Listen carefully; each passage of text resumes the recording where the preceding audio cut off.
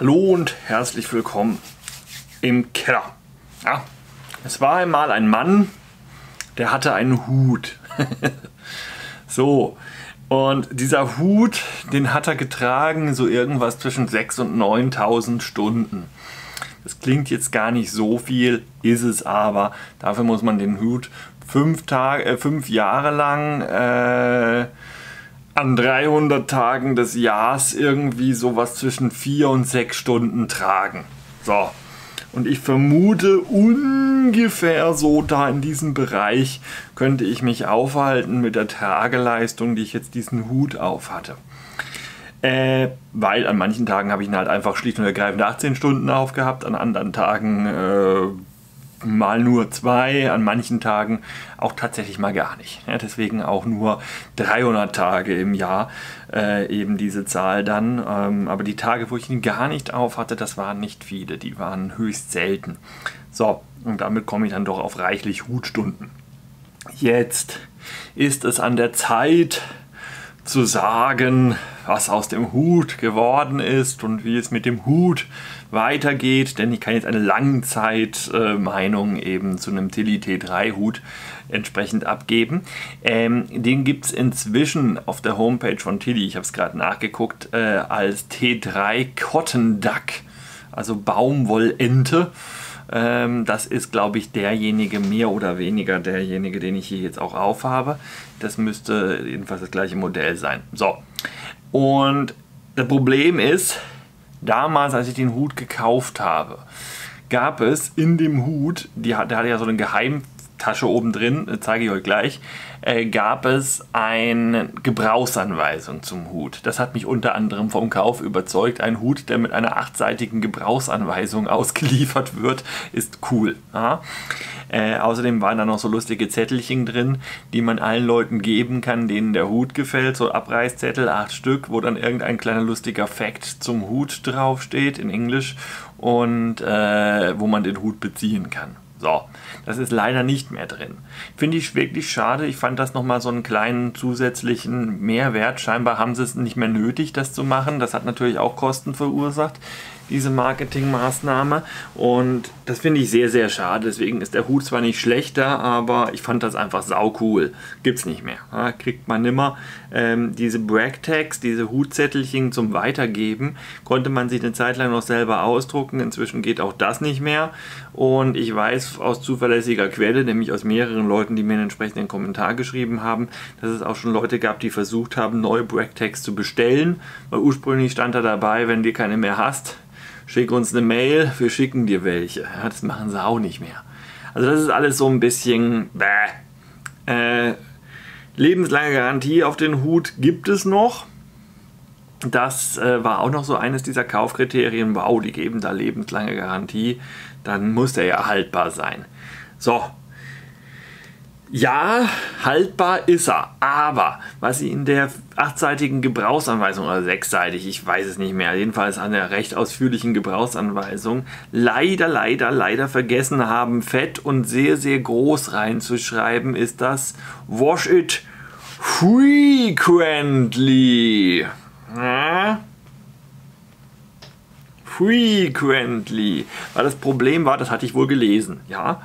Und ich hatte auch das Gefühl, dass ich mich dran gehalten habe. Aber dummerweise ist halt nicht definiert, wie oft frequently eigentlich ist. So, und das wurde zum Problem.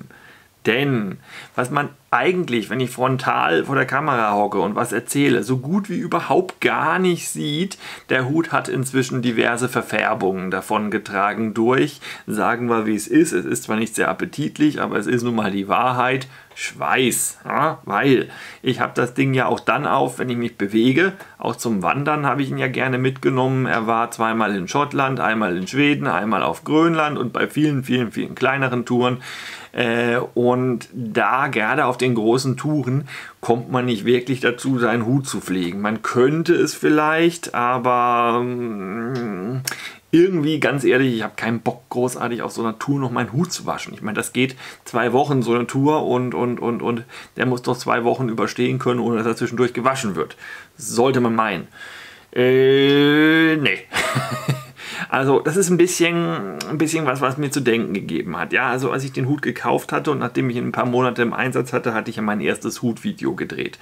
Ist durchaus auch eins meiner erfolgreicheren aus irgendwelchen Gründen. Und man hat mich für wahnsinnig erklärt, dass ich glaube 24 Minuten oder sonst was über einen verdammten Hut referiere. Äh, das hier wird länger. Vermutlich. man muss ja irgendwie sich selbst noch steigern können. Ne? Also, ähm, damals war ich eben der Überzeugung, der Hut sei deswegen so toll, weil er völlig unverwüstlich und unzerstörbar ist.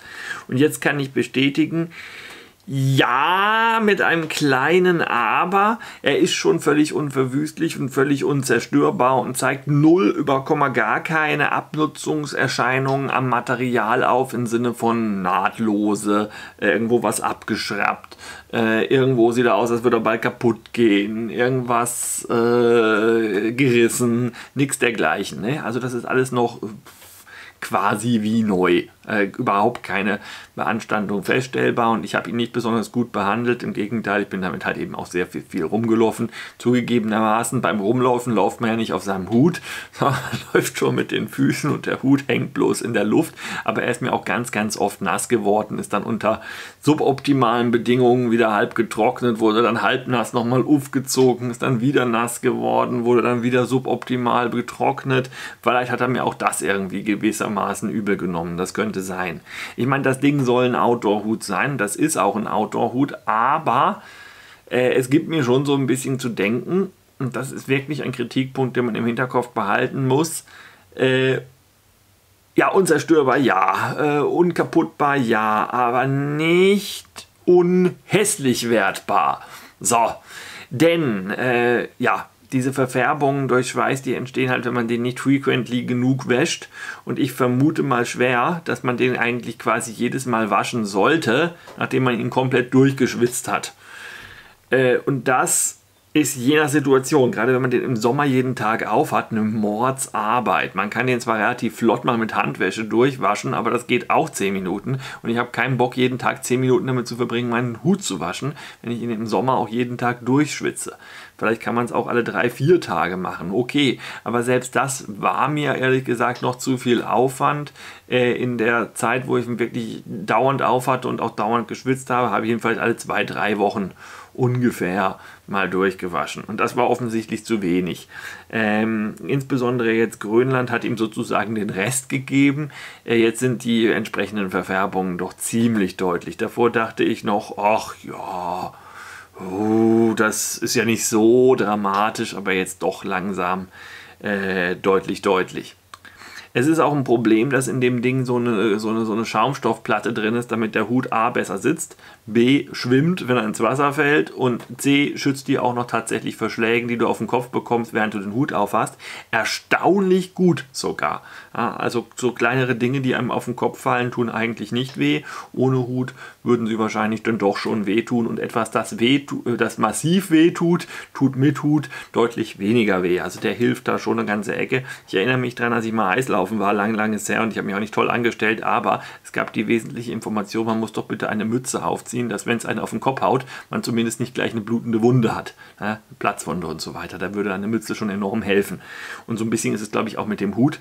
Äh, das bisschen Dämpfung, was der bringt, äh, verhindert halt dann schon äh, größeres, Schlimmeres. Ja, also bei massiven Kopfverletzungen wird der Hut dann wahrscheinlich auch nicht mehr allzu viel helfen nüchtern betrachtet. Praktisch bin ich ja der Überzeugung, dass der gegen so ziemlich alles hilft, aber äh, nüchtern betrachtet dann wohl nicht mehr. Ne?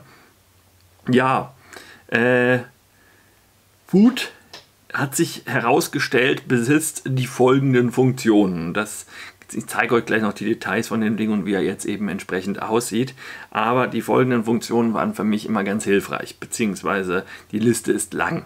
So, Zunächst mal, es ist ein Hut. Man kann ihn auf den Kopf ziehen, dann hat man was drauf. Das hat den Vorteil, dass keiner sieht, inwiefern die natürliche Kopfbedeckung nachlässt. So, das ist schon mal gut. Dann hat es den Vorteil, dass es im Winter etwas wärmt. Ich würde nicht sagen, das ist ein Thermohut, aber gerade bei Menschen, bei denen die natürliche Kopfbedeckung nachlässt, ist es schon ein Unterschied, ob man so einen Hut auf dem Kopf hat oder gar nichts. Und zwar ein gravierender Unterschied. Das merkt man schon relativ schnell. Wobei ich sagen muss, wenn es ganz, ganz kalt wird, habe ich schon auch gerne eine Mütze. Nicht nur wegen den Ohren, weil die halt vom Hut nicht bedeckt werden, sondern auch äh, generell einfach, weil eine Mütze nochmal wärmer ist. Das Ding ist ja nicht zur Isolation gedacht. So, wenn es regnet, hat man den großen Vorteil, dass einem der Kopf erstmal nicht nass wird und vor allen Dingen regnet es einem auch kaum ins Gesicht, wegen der doch vergleichsweise breiten Krempe von dem Ding. Äh, das finde ich sehr, sehr, sehr angenehm und das gibt einfach ein gutes Gefühl bei Regen. Er hat jetzt, ohne dass ich ihn jemals nachimprägniert habe, der wird imprägniert ausgeliefert, glaube ich, äh, hält der so ungefähr eine halbe Stunde ordentlich Regen aus. Wenn so richtig krasser Regen ist, dann vielleicht nur 15 Minuten und wenn so richtig, richtig fisseliger, kleiner, fieser Nieselregen ist, der gerade noch so Regenklamotten rechtfertigt, aber eigentlich auch schon nicht so richtig. Äh, so einer, da hält er vielleicht zwei, drei Stündle, würde ich ungefähr sagen, bis er dann wirklich endgültig durch ist. Wenn man ihn noch imprägniert mit stinknormalem Textilimprägnierungsmittel, da kann man so ziemlich alles nehmen, was es da gibt. Äh, Wachs würde ich nicht unbedingt nehmen, weil dann geht die Atmungsaktivität völlig verloren. Dann schwitzt man unter dem Ding relativ gut. Aber solange man da normales ähm, Imprägniermittel drauf macht, könnte ich mir vorstellen, dass er dann auch deutlich länger den Regen aushält. Das kann ich aber nicht beurteilen, weil ich das nie nachimprägniert habe. Hatte ich nie das Bedürfnis. Äh, die Baumwolle an sich, wenn sie nass wird, quillt sie ein bisschen auf und ist dadurch schon recht gut wasserdicht. Irgendwann wird sie halt von allen Seiten nass und quillt irgendwann komplett durch und dann ist der ganze Hut halt auch durch.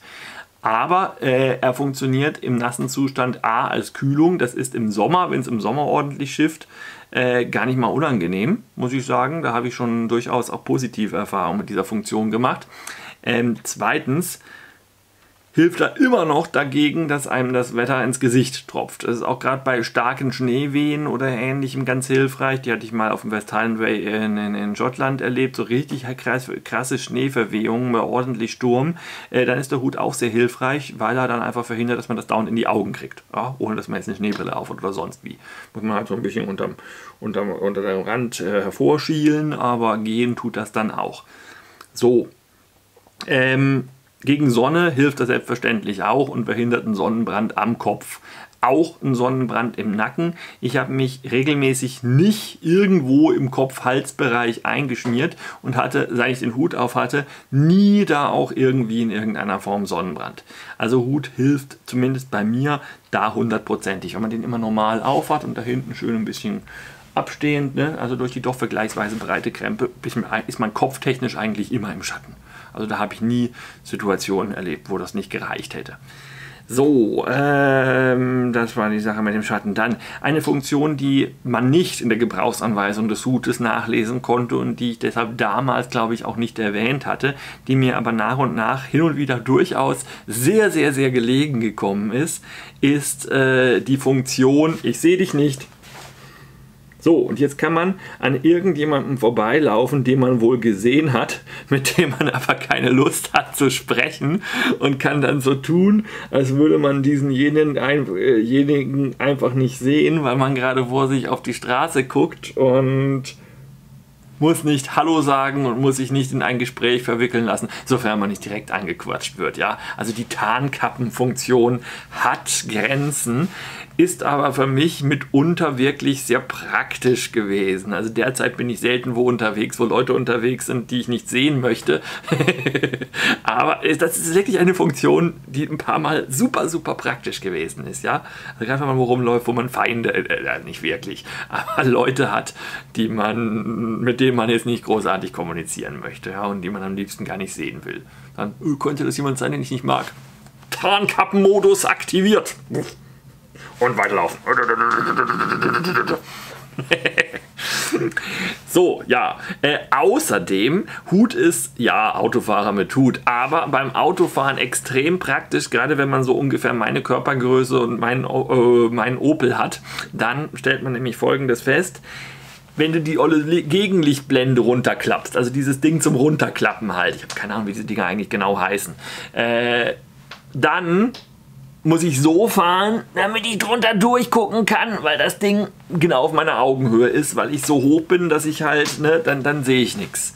Alternativ, wenn die Sonne schon etwas weiter oben steht, dann nehme ich einfach quasi mein Autodach, in dem ich auch schon relativ weit drin hänge, ähm, als Gegenlichtblende und dann kann ich die wieder nicht brauchen, weil sobald ich die runtermache, sehe ich gar nichts. Ne? Und alternativ so, Autofahren macht auch keinen Spaß. Aber mit dem Hut, das gilt auch im Outdoor-Einsatz, nicht nur beim Autofahren, hat man immer die Option, sich die Krempe so zurechtzurücken, dass man grundsätzlich die Augen immer im Schatten hat. Ja, also man kann wunderbar irgendwo im Gegenlicht hocken und die Sonne kann einem noch so entgegenscheinen. Völlig Wurst, man kann den Hut immer in die richtige Position ziehen, damit man immer schön Schatten auf den Augen hat. Das reduziert auch die Notwendigkeit einer Sonnenbrille auf. Brauche ich eigentlich nie. Ja, ganz, ganz selten bei Schnee. Ne? Bei Schnee dann schon, weil der das ja von unten dann hochwirft, das Licht, reflektiert. Und das ist eigentlich, die Sonnenbrille trage ich nur im Winter. Wenn überhaupt, dann nur im Winter, eben auch wieder durch den Hut. Man ist halt ständig in seinem eigenen kleinen Schatten. So, jetzt muss ich kurz überlegen. Wenn man wie ich eher empfindlich auf heiße Temperaturen reagiert, dann ist so ein Hut auch toll. Zwar wird es unter dem Hut tendenziell wärmer, als wenn man keinen aufhat. Insbesondere wenn man zum Beispiel Fahrrad fährt.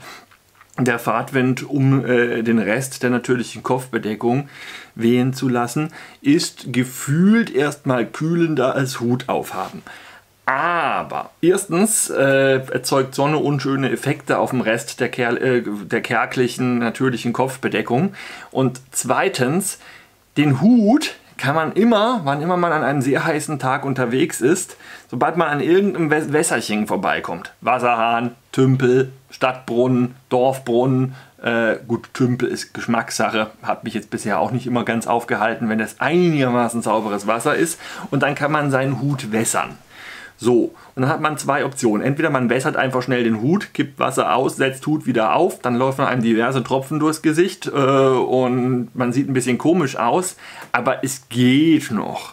Oder wenn es ganz, ganz heiß ist, dann kann man auch die ultimative Abkühlungstechnik machen und füllt den Hut, soweit er sich füllen lässt, weil der hat hier oben ja so Löcher, da läuft Wasser relativ schnell raus. Das heißt, man kriegt höchstens so einen Zentimeter Wasserstand rein und setzt sich den dann mit dem Zentimeter Wasserstand entsprechend auf den Kopf. Dann sieht man aus wie der begossene Pudel, aber es ist einem nicht mehr warm. Empfehlenswert nur für Menschen, die relativ immun sind gegen Erkältungskrankheiten, wenn sie sich schlagartig im Hochsommer dann irgendwie durch Wasser abkühlen. Ja? Äh, soll auch Leute gegeben haben, die das ähnliches mal ausprobiert haben und dann ganz schlimm krank geworden sind.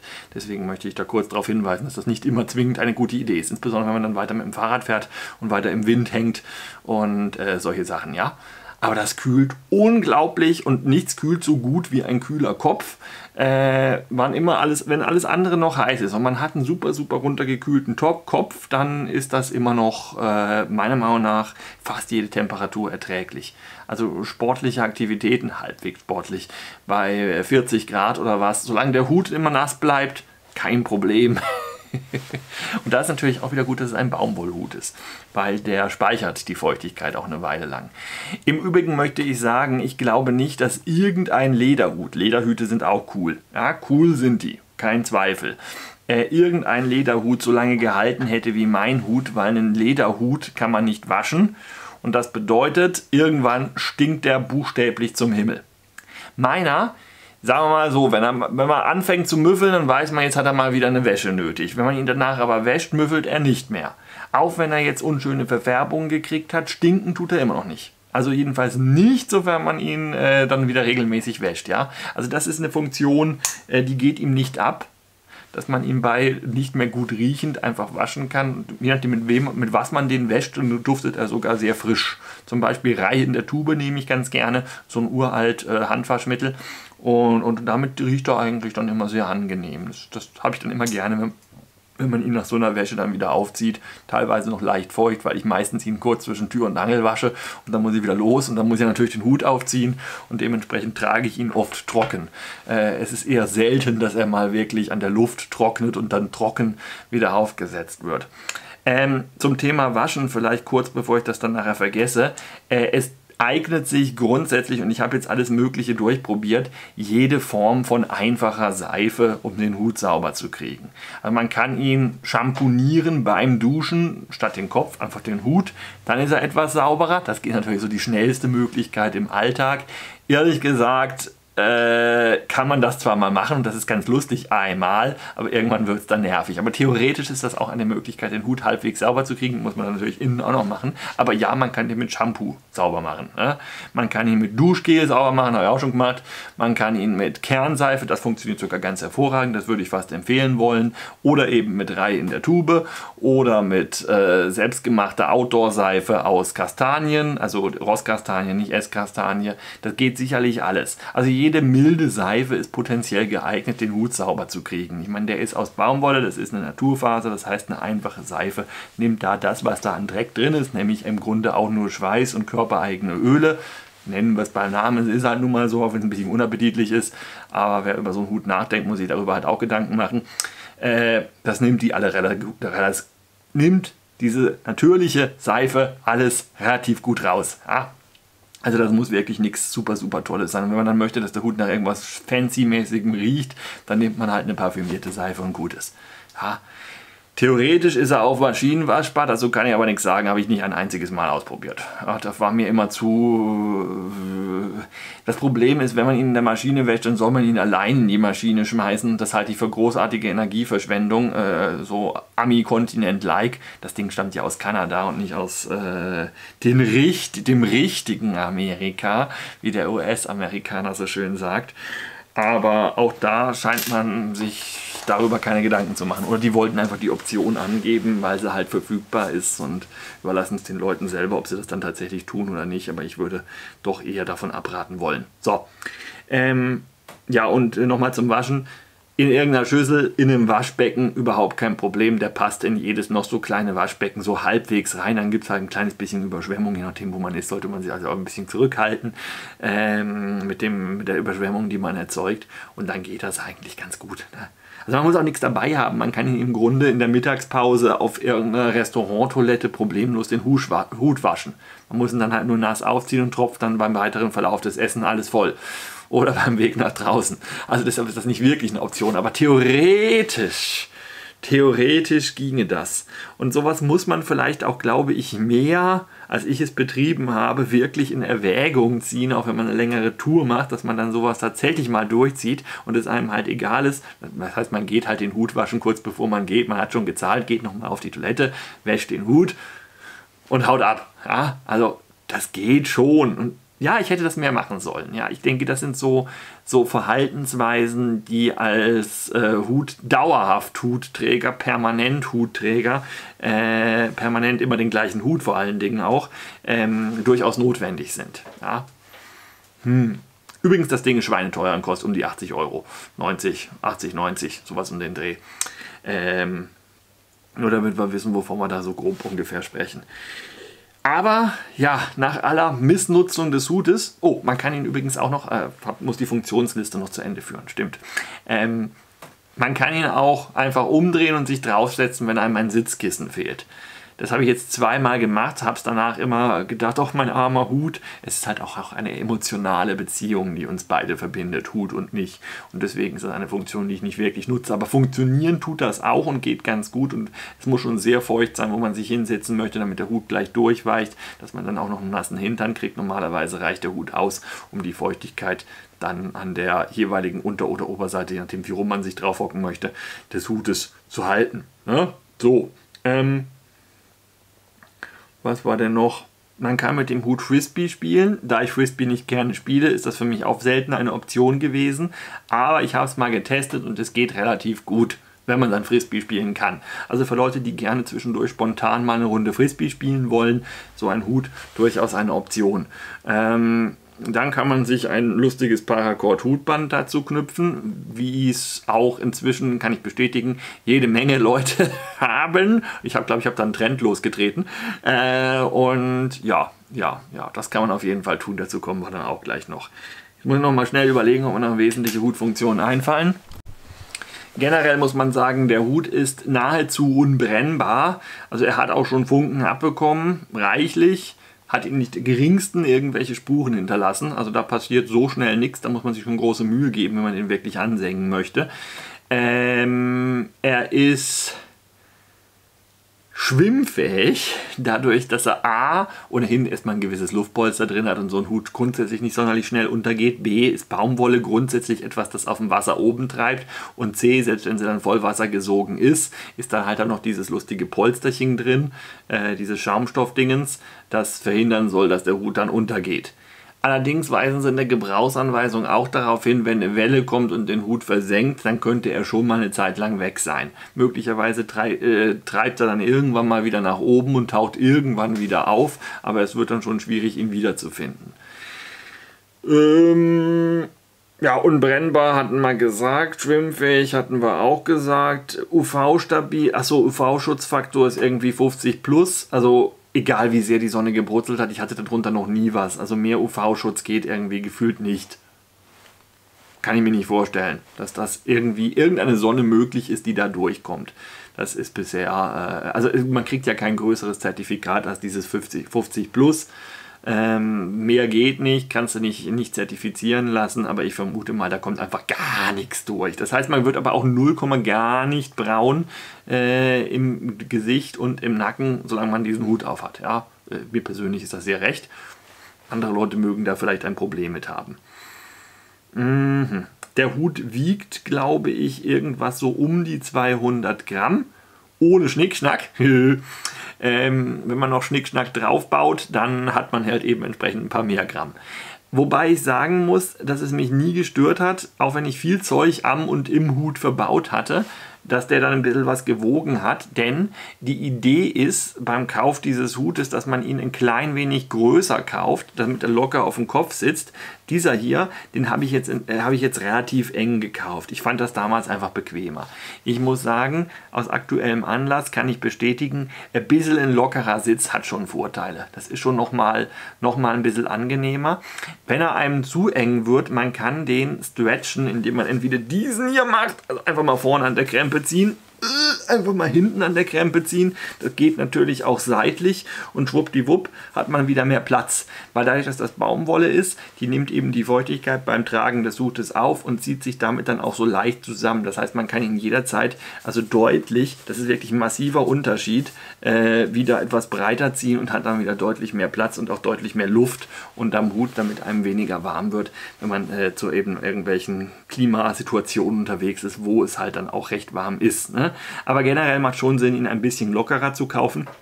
Weil gerade wenn man vorhat, ihn mit äh, Special Effects zu versehen, dann wiegt der schon so viel, dass er allein durch sein Eigengewicht gut auf dem Kopf sitzt und ein Einklemmen um den Kopf, also ein wirklich festgeklemmt Sitzen, ist nicht mehr notwendig. Man verliert den Hut auch sonst nicht sonderlich schnell. Es sei denn, es kommt massiv Wind auf und dafür haben diese Hüte ja innen drin immer noch so eine Kordel, das zeige ich euch auch gleich, mit der sie nicht wegfliegen können. Die muss man dann halt aber auch benutzen, das ist wichtig, dass man das dann auch tut und sich nicht zu fein ist. Äh, eine Kordel unterm Kinn sieht blöd aus. Man gewöhnt sich da auch dran. Ich hatte zum Beispiel in Grönland durchgehend die Kordel unten. Hier in Deutschland ich, benutze ich sie sehr, sehr selten, muss ich sagen, weil äh, im Wald geht der Wind auch oft nicht so stark. Und gerade weil der Hut etwas zu eng ist für die Verhältnisse dieses Hutes, ähm, sitzt der eigentlich meistens relativ bombenfest. Da muss schon wirklich ordentlich Wind aufkommen. Aber mit Kordel kann man ihn dann völlig unmöglich verlieren. Das ist auch wichtig beim Fahrradfahren. Wenn man also denkt, man nimmt schnell das Fahrrad, vergisst, man hat den Hut auf, fährt los, stellt fest, oh scheiße, ich muss ja noch Kordel machen. Das ist eigentlich bei mir Standard. Ich fahre mit dem Fahrrad los, fahre 5 Meter, bremse, stelle fest, muss noch Hut festmachen, mache Hut fest, fahre weiter und dann ist auch okay. Aber man vergisst diese Kordel unterm Kinn auch relativ schnell wieder. So, ähm, ja, Wäsche hatten wir gesagt. Äh, Unzerstörbarkeit hatte ich auch erwähnt, ne? also null, null Materialschäden, wirklich gar nichts, nur die Sache mit der Farbe. Nur das, einzig das ist der Schwerpunkt bzw. der Schwachpunkt, den diese Hüte haben und deswegen sollte man sie wohl wirklich frequently waschen. Und von meinem inneren Auge fliegt jetzt schon seit Wochen eine Miniaturausgabe von Alex Tilly vorbei, der Typ, der diese Hüte erfunden hat, äh, dem auch die Firma, glaube ich, immer noch gehört. Ich denke, der lebt noch. Ähm, das sind ja Tilly Hats. Ne?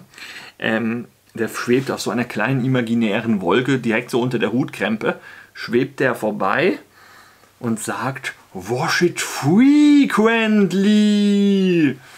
Ja, und das stört mich inzwischen. So, jetzt kommen wir zu dem Punkt, wo ich euch mal zeige, wie der Hut aktuell ausschaut, also im Detail. Ähm, wer das nicht sehen möchte, weil es ist nicht super, super appetitlich, der muss halt äh, an dieser Stelle entweder das überspringen durch fröhliches Vorwärtsklicken oder äh, sich einen Kaffee machen gehen oder ähm, ganz laut so machen. Lalalala. So, also, das ist jetzt mal gut von unten, die haben inzwischen nicht mehr so ein fettes Schild drin. Also ich weiß nicht, ob der T3 inzwischen auch noch immer noch so ein fettes Schild hat, Gerüchten zufolge nicht. Gerüchten zufolge ist es jetzt ein kleineres Etikett.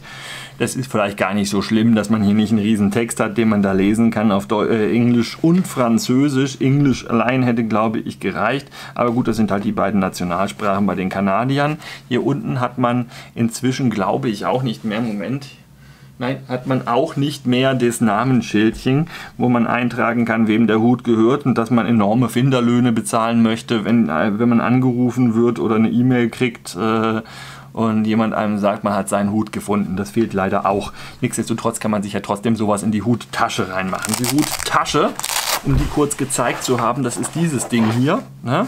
Da hast du nach vorne und nach hinten auf der kompletten Breite des, des, des, des Hutdeckels ja, der komplette Deckel ist quasi untertascht und da kann man sich dann Zeug reinmachen. Dazu kommen wir dann gleich noch. Das habe ich auch intensiv betrieben. Inzwischen habe ich nichts mehr drin.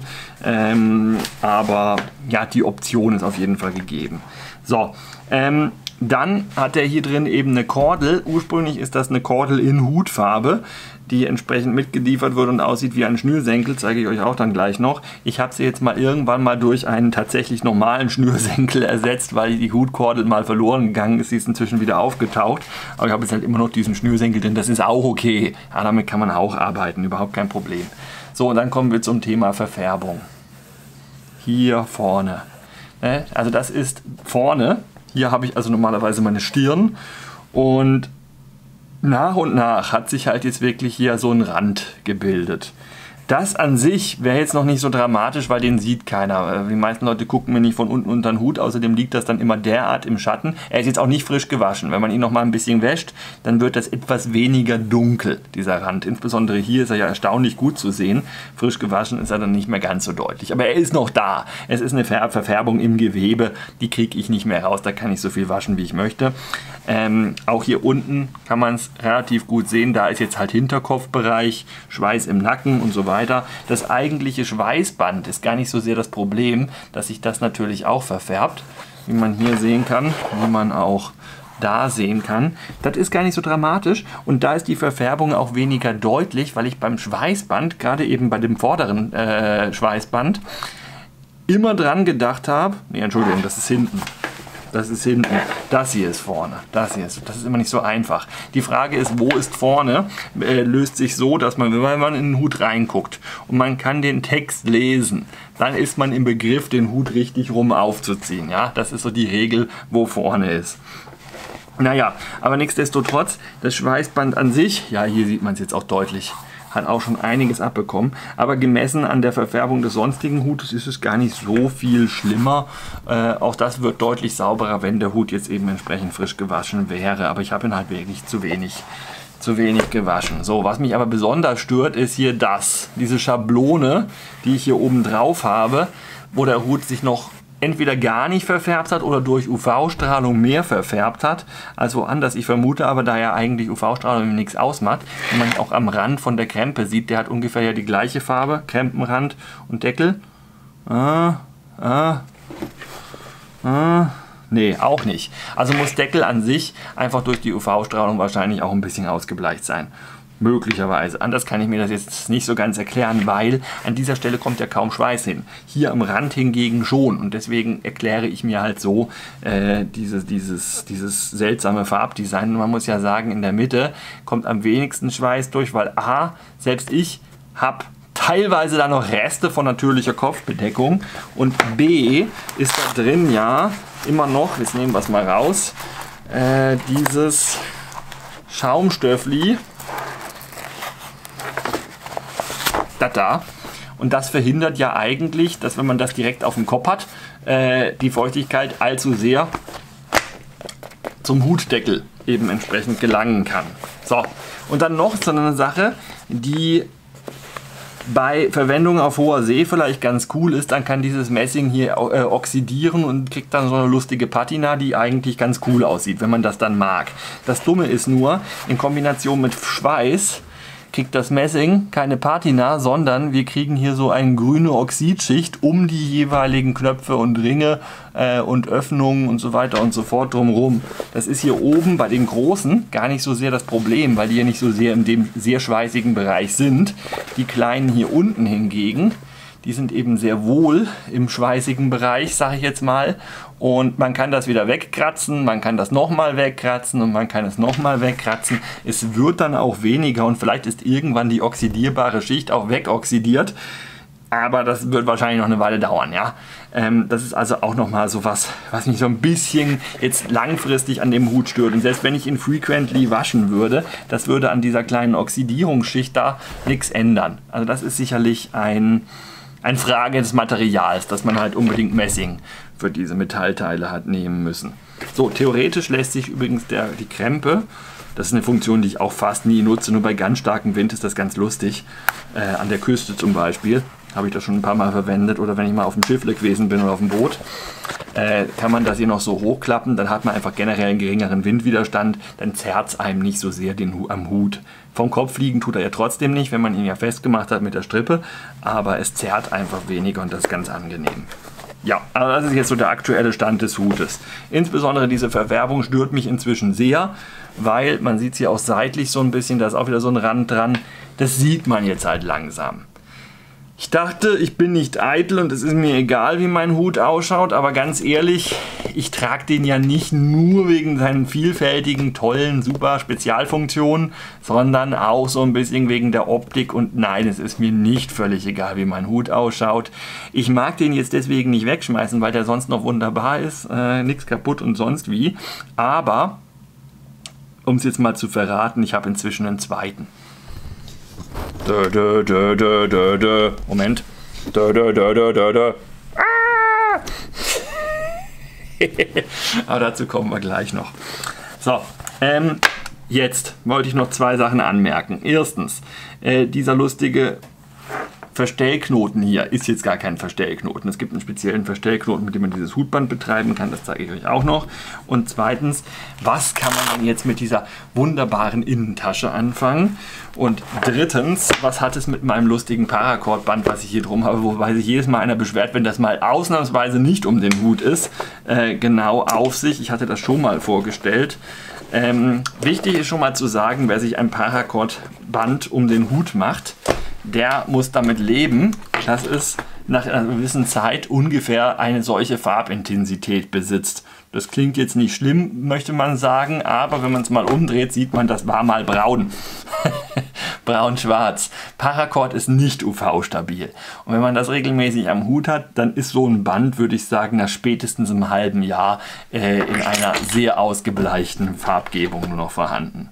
Wenn man dann wie ich noch einen Haufen Kram am Band hat, kann man es auch nicht beliebig umdrehen, weil dann der Kram falsch rum dran ist, man das zum Teil nur, nur bedingt andersrum festmachen kann. Also hier ginge es jetzt, das könnte man schon machen.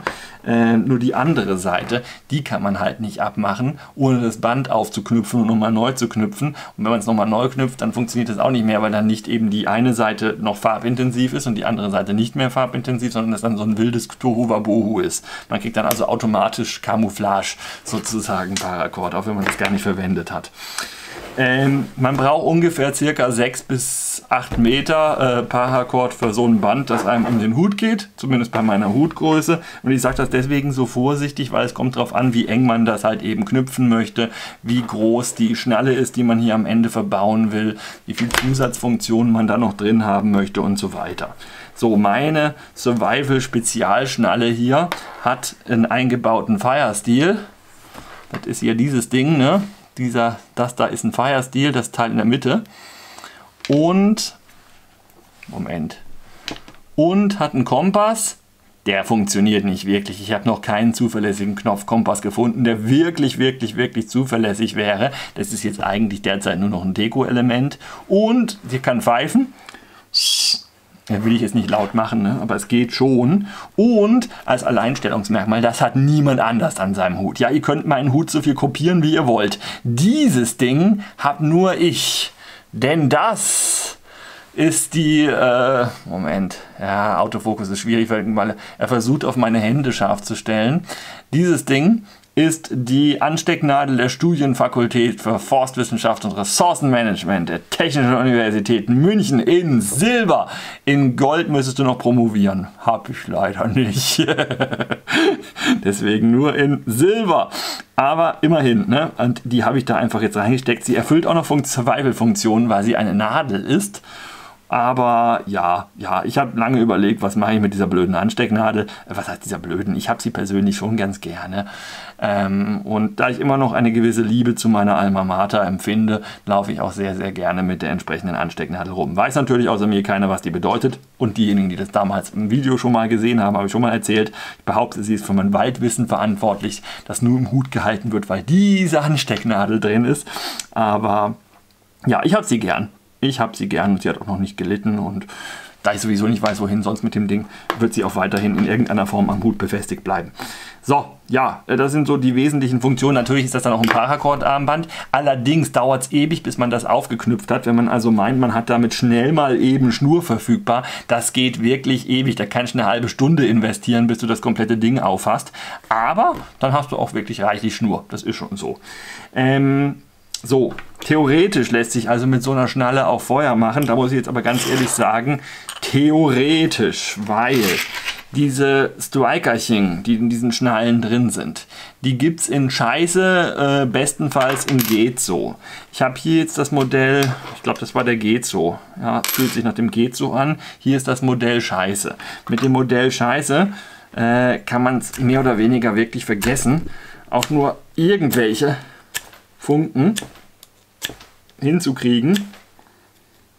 Das ist einfach Glückssache. Die kosten nicht viel, diese Schnallen, aber du musst einfach Dusel haben, dass das einigermaßen angeschliffen ist. Wenn man sich mit Metallbearbeitung auskennt, kann man sich vielleicht selber scharf machen, ich weiß es nicht. Mit dem Striker hier hingegen geht das schon. Ist auch na, mühsam, aber geht. Und nur fürs Protokoll, man kann sich dann mit so einem Teil, wenn man das mal wirklich ein bisschen geübt hat. Also es ist nicht nur Spielzeug, es ist primär Spielzeug, das ist es, aber es ist auch nicht unmöglich, mit so einem Zeug, mit dem Zeug was ganz einfach Entzündbares anzuzünden. Zum Beispiel so ein Wattebäuchlein würde ich jetzt behaupten wollen, das geht schon. Es ist immer noch mühsam und man braucht ein paar Versuche. Aber ja, wie man sieht, gehen tut's. Also ist nicht unmöglich ich würde jetzt mal sagen, 50% Spielzeug, 50%, wenn man wirklich gar nichts anderes zum Feuer machen hat, schon eine echte Notoption. Ja? Also nicht völliger Quatsch. Allerdings braucht man einen hervorragenden Zünder, der sich super, super leicht anzünden lässt. Jetzt ist es auch so, dass diese Teile hier nochmal so ein so ein, äh, die gibt es in verschiedenen Modellen auf dem Markt. Die haben hier nochmal so eine Vertiefung, da will die Kamera wieder nicht drauf scharf stellen, jetzt. Ähm, und die kann man je nach Modell mal mehr, mal weniger leicht da rausfriemeln. Ich habe hier irgendwo eins, da hatte ich schon mal abgemacht. Genau. Und dann kommt da so ein Hohlraum drunter zum Vorschein und in dem kann man sich dann ein bisschen Watte verpacken. Ja, muss ich auch jetzt nicht vormachen. Wenn man die vorher noch mit Vaseline trinkt, tränkt oder mit irgendwas anderem lustigen Brennbaren wie so ein Brenngel, dann hat man da einen sehr guten Zunder auch gleichzeitig noch am Hut dabei. Leider wird er halt nass, wenn es regnet. Deswegen muss man ihn sehr, sehr, sehr intensiv mit Vaseline tränken, sonst ist er danach unbrauchbar. Wobei andererseits, man kann so eine Watte auch wieder trocknen, dann ist die auch wieder brennbar. Also muss jeder selber wissen, wie er das machen möchte oder einen Zunder noch irgendwo anders mitnehmen oder halt wirklich so lange üben mit mehreren dieser Schnallen, weil man kann den Firestil auch nicht austauschen. Äh, die Schnalle wohl, aber den Firestil an sich nicht so lange üben, bis man es damit auch schafft, Birkenrinde oder sonst was anzuzünden. Ja, das ist auch noch mal eine Option. Jo, das sind dann die Funktionen dieser Schnalle. Wie gesagt, wenn man einen funktionierenden Kopf, Knopfkompass findet, kann man sich den da drauf kleben. Und es gibt auch Schnallen, da ist der schon integriert, aber die werden dann sehr, sehr wuchtig. Deswegen hatte ich das lieber so, dass ich mir einfach draufgeklebt habe mit Heißkleber, Pistolenkleber. Ne, ich glaube Sekundenkleber war es, ich weiß es nicht. Ähm, und, und, und, und das geht dann auch, ne? nur abgesehen davon, dass der Kompass eigentlich funktioniert. Solange wie er funktioniert, hat man aber einen Kompass. Wenn er das eine Weile tut. Das ist halt immer sehr fragwürdig. Gut, da wir jetzt hier gerade dabei sind, solche lustigen Spielsachen hier. zu besprechen. Was kann man denn in das Geheimfach seines Hutes noch so reintun? Ich hätte ein paar Ideen. Ähm, zum Beispiel, man kann sich reintun Zwirn. Zwirn ist eine sehr dünne Schnur, gut geeignet. Man kann natürlich auch den Nehmerseil nehmen, irgendwie sowas um den Dreh. Hier so eine lustige Outdoor-Schnur. Das stört auch nicht groß im Hut. Man muss sich immer überlegen, packe ich das Fach wirklich voll, dann geht es mir auf den Keks. Das kann ich euch garantieren. Es fühlt sich dann wirklich beim Tragen des Hutes ein bisschen komisch an, wenn man sich allzu viel Zeug in das Fach packt. Man sollte es also wirklich auf einige sehr wenige, sehr kleine und vor allen Dingen flache oder so eine Wurst vorne und hinten, das geht auch noch ganz gut. Das trägt sich auch, trägt man auch nicht groß, das, das spürt man auch kaum ne? weil sich das auch anpasst, entsprechend in, in Biegerichtung des Hutdeckels. Aber zum Beispiel, ich hatte mal überlegt, ob ich mir das Ding da reinklatsche. Ja? Äh, das ist relativ dick, wie man hier sehen kann. Keine Chance, das ist elends unbequem. Davon abgesehen, dass die Funktion von dem Ding hält sich auch in Grenze, wie nützlich das ist. Ja? Äh, wäre wirklich bloß Spielzeug gewesen. Das nützlichste daran ist noch dieser Dorn. Äh, mit der Lupe habe ich noch nie irgendwas anzünden können und die anderen Sachen, da ist theoretisch noch so eine Klinge dran, die ist auch stumpf wie Sau. Da ist dann jede andere Möglichkeit, eine Klinge mitzunehmen, tendenziell etwas schärfer. Ja, aber das wäre, das wäre schon viel zu klobig. Das wiegt auch zu viel. Man kann da höchstens, würde ich jetzt sagen, so maximal 15 Gramm in den Hutdeckel reinpacken, sonst wird es auch wieder unbequem. Was ganz gut geht, sind Knicklichter, insbesondere wenn man sie aus der Packung noch rausnimmt. Dann halten sie vielleicht nicht so lange, aber gut, die sind auch nicht teuer, solche kleinen Popelknicklichter. Also das geht ganz gut. Äh, die sind aber auch vergleichsweise nutzlos. Ne? Ver vergleichsweise, nicht völlig. Ich weiß, es kommen wieder irgendwelche Leute, die das in die Kommentare schreiben, hey, total praktisch. Aber es hält sich in Grenzen. Also Überleben und Tod hat bei mir noch nie ein Knicklicht entschieden. Praktisch hingegen finde ich ein Stück Schlauch das ist gerade ein kleines Stück Schlauch. Damit kann man zum Beispiel eine Pfütze austrinken, die man anderweitig gar nicht austrinken kann. Äh, man findet auch gerne mal in irgendwelchen Baumastlöchern noch Wasser, was da noch steht. Das ist auch oft trinkbar, weil es halt Regenwasser ist, gerade ein paar Tage alt, sonst wäre schon verdunstet. Ist nicht lecker, aber kann man mit so einem Röhrchen dann tatsächlich ausschlürfen und kommt dann so ein bisschen an sicheres Trinkwasser vielleicht eine der cooleren Optionen. Davon abgesehen, man kann sich natürlich auch Mikropur-Tabletten in den Hut schmeißen, die, wiegen, die sind ja gar nicht groß, die, die sind quasi fast nicht existent. Das geht auch noch sehr gut. Also zur Wasseraufbereitung bräuchte man halt noch irgendein Gefäß, wo man das Wasser dann reinmacht. Streichholz ist selbstverständlich eine Option, so ein Streichholzbriefchen. Ein Ticken zu dick, andererseits, man kann es noch ein bisschen platter pressen und dann geht es eigentlich. Dann sind bloß noch die Zungenköpfe, das was ein bisschen äh, absteht wie gut jetzt natürlich diese ollen Kartonstreichhölzer sind. Insbesondere so billige, die eine scheiß ah, Reibefläche haben. Äh, das äh, kann man jetzt lange diskutieren. Ne? Ja, es gibt irgendwelche Spezialtechniken, wie man sowas trotzdem gut anreißen kann. Lasst mich in Ruhe, es ist ja nur so eine Idee, ja. Äh, was ich auch schon mal hatte, war diese Speerspitze. ich sag's ja nur. Ne? Ohne weiteren Kommentar. Ähm, Ganz cool und wahrscheinlich so mit eins der zwei nützlichsten Sachen, die man sich in den Hut machen kann, ist so ein Kreditkartenmesser, weil das wiegt die beschriebenen 15 Gramm, ist noch dünn genug, dass man es fast nicht spürt, ist auch relativ wasserfest und äh, im Prinzip ist das eine Messerklinge in eine Plastikkreditkarte, dass man dann, habe ich auch schon mal woanders vorgezeigt, dass man dann so entsprechend zusammenbauen kann. Moment. Äh, ne, so nicht. Doch und dann das darüber äh, und das da festmachen.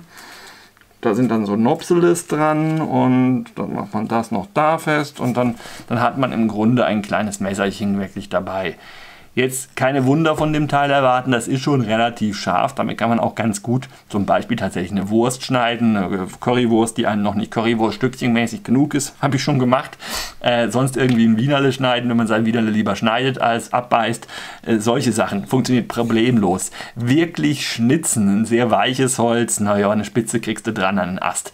Aber viel mehr auch nicht. Ja? Also darf man nicht, darf man nicht überbewerten. Inwieweit das hilfreich sein könnte zur Selbstverteidigung, ach, macht euch nicht lächerlich. Ja. Äh, ein Spiegel hatte ich auch mal drin. Habe ich dann auch bald wieder, wieder nicht mehr drin gehabt. Hallo. So. Äh, dann hatte ich auch mal generell einfach noch ein bisschen Zunderwatte dabei. In der Tüte. Das ging ganz gut. War aber auch nie notwendig. Und ich hatte mal überlegt, ob ich mir einfach ein einzelnes, ich will die jetzt nicht aufmachen, weil die noch eingeschweißt sind, so eine einfache äh, Drena, äh, ja, Wundschnellverschlussbandage da reinmache, die mit so einem Antisept äh, anti-hämostatischen Zeugs ähm, eingeschmiert ist, damit es dann halt eben gegebenenfalls, wenn Frau mal wieder einen Unfall hat, äh, und Frau am Bluten ist, was gibt, was ich dann bei Frau auf Wunde drücken kann, damit mir Frau nicht allzu schnell verblutet, weil Frau neigt dazu, mehr zu bluten als andere, vorsichtig ausgedrückt. Ja, normalerweise von normalen Menschen würde ich jetzt nicht sagen, dass man unbedingt ein Verbandsdingens im Hut mit sich rumtragen muss, aber da denke ich gerade ernsthaft drüber nach, ob ich das nicht mal wieder reinpacke. Ne? Äh, ja, werden wir sehen. Ne?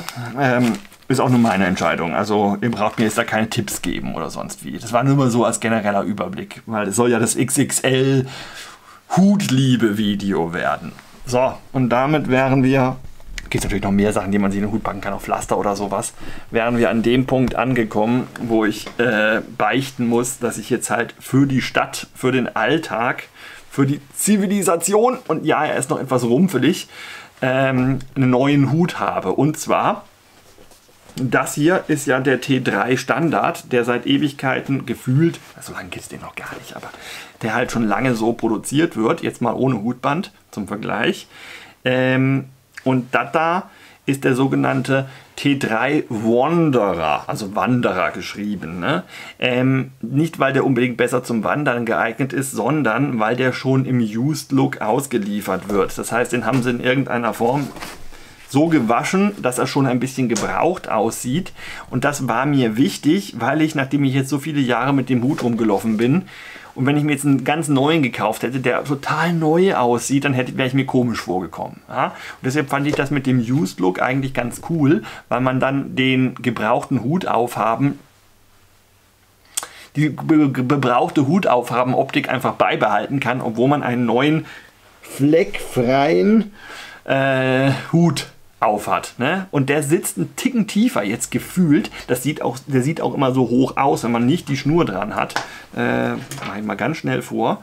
Das ist ein ganz, ganz deutlicher Unterschied, gerade was die, was die Optik vom Hut angeht. Wenn die Schnur drum ist, sieht der Hut deutlich weniger hoch aus, ähm, als das halt eben der Fall ist, wenn man die Schnur nicht drum hat. Ne?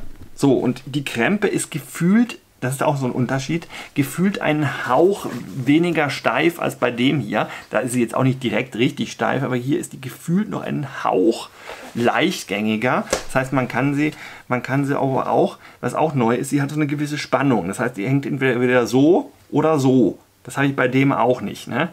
Diese, also vielleicht war die mal drin, die Spannung, und ist inzwischen raus. Ähm,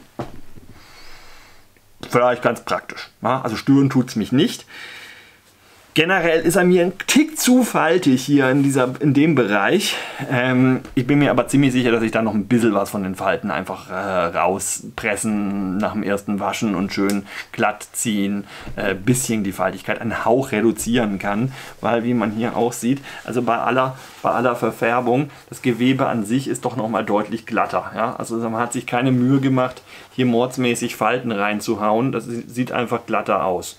Und jetzt so eine Frage. Es gibt bestimmt auch Leute, die das genau so haben wollen. Das ist auch ein Designelement und ist sicherlich auch so gewollt. Und ich finde es gerade beim so seitlichen Betrachten des Hutes eigentlich ganz cool. Aber für meinen Geschmack ist es ein Hauch zu viel. Also ich werde das versuchen, noch ein bisschen rauszukriegen.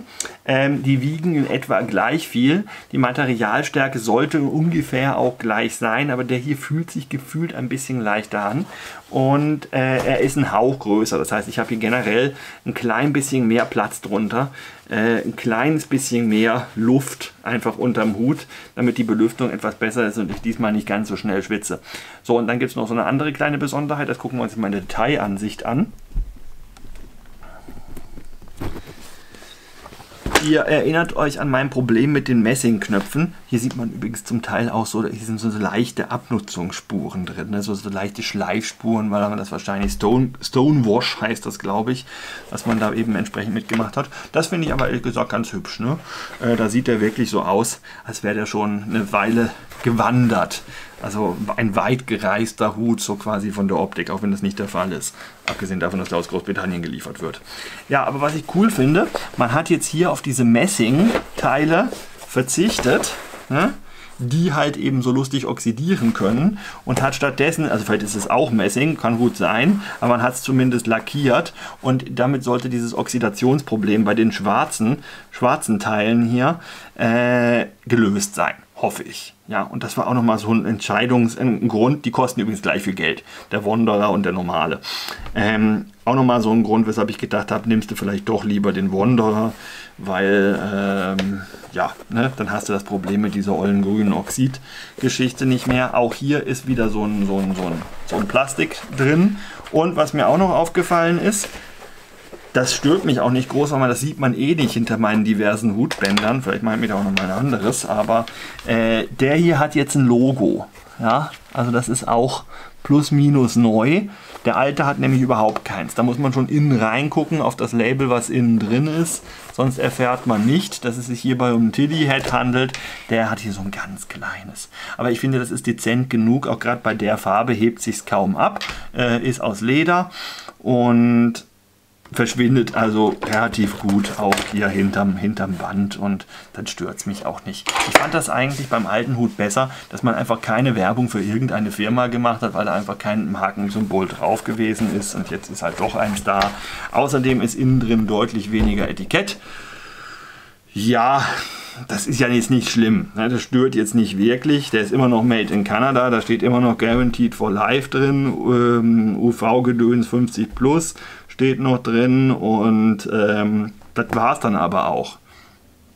Und das ist ein Tilly Authentique Authenticuit, äh, meine Versuche Französisch zu sprechen, ist. Ne? Außerdem 100% Cotton, exclusive of trim, machine wash or hand wash, warm, Reshape Air Dry. Das ist, das ist die Waschanleitung. Die ist inzwischen wirklich super kurz und passt auf dieses kleine Zettelchen. Und damals hattest du hier äh, Handcrafted with Canadian Persnicktiness. Was ist das denn für ein Wort? Kenne ich gar nicht. Egal. Ich sehe so selten ins Innere meines Hutes. Machine wash or hand wash, cool water. Wash frequently to ensure sweat will not permanently discolor fabric. Ja, danke, ich hab's gelernt, ich hab's ja jetzt begriffen. Reshape, air dry, then restretch over knee. Ja, also das heißt, man zieht sich den quasi übers Knie und zieht ihn lang, damit er dann wieder die gleiche Form hat wie vorher auch. Und all diese schönen Tipps, die fehlen hier jetzt mehr oder weniger. Jetzt hat er bloß noch Reshape and Air Dry dastehen und Machine Wash or Hand Wash Warm. Ja, das ist ein bisschen kürzer. Ach, da drüben geht es noch weiter. Ne, das ist einfach nur Französisch. Ja, das finde ich ein bisschen schade. Das finde ich ehrlich gesagt ein bisschen schade. Ansonsten Verarbeitung wieder tipptopp, kann man wirklich nirgendwo meckern. Habe jetzt nichts gefunden, was mich in irgendeiner Form davon überzeugen könnte, dass das anders ist als bei dem Exemplar. Ja, die sind auch farblich ein bisschen unterschiedlich. Also selbst da, wo er kaum Verfärbungen hat, sieht man, es ist noch ein bisschen eine andere Farbe. Der hier ist noch ein Ticken oliver als der da. Könnte auch damit zusammenhängen, dass da halt so viel gewaschen ist. Äh, vorgewaschen. Vielleicht, weiß ich nicht. Ne? Ähm, Schweißband ist auch wieder drin, ist jetzt wieder sauber. Das hier ist das Original Hutband, das im anderen auch mal drin war. Der hat hier zwei sogenannte Siemens-Knoten, äh, Siemens-Knot. Das ist ein stinknormaler Standardknoten, wirklich nichts Besonderes. Und wenn du davon zwei an dem gleichen Band machst, dann kannst du da logischerweise dann auch ne, äh, die Enge vom Hutband damit verstellen, dass sich diese Knoten hin und her schieben lassen. Also ganz simpel, das ist jetzt nicht weiter kein besonderes Hexenwerk. Ähm, ja, und das wäre dann halt jetzt mein neuer Hut, bevor also jetzt, wenn ich den irgendwann mal aufhabe, unglaublich viele Spekulationen losgehen. Oh mein Gott, dein Hut sieht anders aus. Ich meine, irgendwo finde ich es ja auch lustig und natürlich ist das ja auch mein Markenzeichen, mit so einem ollen Hut rumzurennen. Deswegen, die Reaktionen sind ja provoziert von mir. Ja, das, das, das sehe ich ja ein. Ich will mich also nur zum Teil beschweren, schon mal im Voraus. Aber es werden sicherlich einige Leute nicht mitbekommen haben, dass ich tatsächlich einen neuen, neuen alten Hut habe, sozusagen, äh, für Situationen, in denen ich halt mal in eine Stadt will oder wo ich Menschen begegne. Ich werde den hier aber trotz Flecken, mir doch egal, weiterhin aufziehen, wenn ich zum Beispiel auf eine größere Tour gehe. Da wäre schade drum, weil dann muss ich den, dann versau ich den ja auch. Das ist jetzt sozusagen mein Ausgehhut und das mein Alltagshut. Ne? Ähm, und Alltag meint nicht was mit Leuten, sondern was alleine im Wald. Und wenn es dann in die Stadt geht, so wie gleich zum Beispiel, dann werde ich jetzt in Zukunft auch mal diesen Hut dann aufziehen. Und der kriegt auch noch ein alternatives Hutband. Das Survival-Hutband soll schon am Waldhut, äh, am, am Standard-Alltagshut dranbleiben. Äh, ich hatte auch überlegt, ob ich mir da mal ein neues mache, eben wegen der dauernden Verfärbung durch die UV-Geschichte, ne, dass dann die Farbe raus ist. Das ist jetzt insgesamt übrigens mein viertes Hutband, das ich je geknüpft habe. Aber nee, ganz ehrlich. Zumal man den Paracord, nachdem man den aufgewickelt hat, was ja wie gesagt sehr lange dauert, auch nur begrenzt wiederverwenden kann, weil er dann so blöd Camouflage aussieht. So, und auch wenn die Variante vom Hut, ja, das ist ein bisschen ungewohnt, ich weiß, aber im Grunde gefällt mir der auch. Ich brauche auch mal ein bisschen, bis ich mich daran gewöhnt habe. Das ist wie mit einem, äh, Entschuldigung, Schatz, wie mit einer neuen Geliebten. Das dauert auch eine Weile, bis man sich daran gewöhnt hat. Ähm, und deswegen, ja, aber, aber gefallen tut er mir auch. Und dass er etwas tiefer sitzt, liegt jetzt einfach daran, dass er halt etwas weiter ist und ich ihn, der, der, mir jetzt wirklich von der Schwerkraft auf die maximale Tiefe quasi runtergedrückt wird. Wenn ich ihn vorne nicht so weit in der Stirn hängen habe, dann muss ich ihn halt hinten ein bisschen weiter runter machen und dann geht das auch und dann habe ich noch ein bisschen mehr Nackenprotektion, das ist auch nicht schlecht. Was mir auch noch aufgefallen ist, die Knöpfchen zum Hochknöpfen, die liegen etwas höher, die sind bei dem hier noch ein Stück, Stückchen weiter unten, weshalb das Hochknöpfen immer etwas mühsam gewesen ist, weil man dauernd die Druckknöpfe erst suchen musste. Ne? Das sieht irgendwie gewöhnungsbedürftig aus, gerade insbesondere wenn man das Hutband nicht verwendet. Aber ja, bei starkem Wind ist das schon ganz praktisch. Da habe ich das auch schon hin und wieder ganz gerne mal benutzt. So, ne? das also in Zukunft, auch wenn ich versuche, noch etwas, etwas rumpelfreier zu kriegen, der Alternativhut. Nicht erschrecken. Ja, Fazit, unzerstörbar ja, unverfärbbar nein. Kaufempfehlung, weiß ich nicht. Wenn euch das Gerumpel am Wandererhead nicht stört, dann würde ich fast den Wandererhead empfehlen. Aber das ist jetzt nur der Ersteindruck. Ich habe den erst zwei Tage. Ja, also deswegen, zu dem kann ich fünf Jahre sagen, wie er sich verhalten hat. Bei dem hier gehe ich davon aus, dass es mehr oder weniger dasselbe sein wird, aber ich weiß es nicht hundertprozentig, deswegen. Aber in Zukunft habe ich auch einen Hut zum Wechseln. Das heißt, ich kann auch mehr Hut waschen, weil wenn ich Hut wasche, muss ich danach nicht zwingend automatisch mit einem nassen Hut rumlaufen, wenn ich vor die Tür will, sondern ich kann den waschen und den aufziehen und umgekehrt. Und das macht das Leben doch erheblich einfacher. Und ja, diese Hüte sind teuer, aber ich denke nach fünf Jahren und wenn man den wirklich so intensiv genutzt hat, kann man sich dann auch mal wirklich einen zweiten leisten. Und eines Tages werde ich mir vielleicht auch noch mal einen dritten, dann vielleicht sogar in einer anderen Farbe entsprechend zulegen. Aber bis das soweit ist, bin ich jetzt hoffentlich mit dem hier ganz zufrieden. Ja, er ist halt noch so neu. Es ist noch die Liebe, die sich in vielen Jahren entwickelt hat, ist noch nicht ganz so, noch nicht ganz so vorhanden. Schon assi, ne? Also wenn das jetzt wirklich eine Geliebte wäre, dann schmeißt man sie weg, weil sie sich ein bisschen verfärbt hat. Böse. Macht's gut. Und damit habt ihr jetzt, glaube ich, das längste Video, das jemals über einen Hut gedreht wurde, gesehen. Könnte sein. Zumindest in deutscher Sprache bin ich mir ziemlich sicher. Tschüss.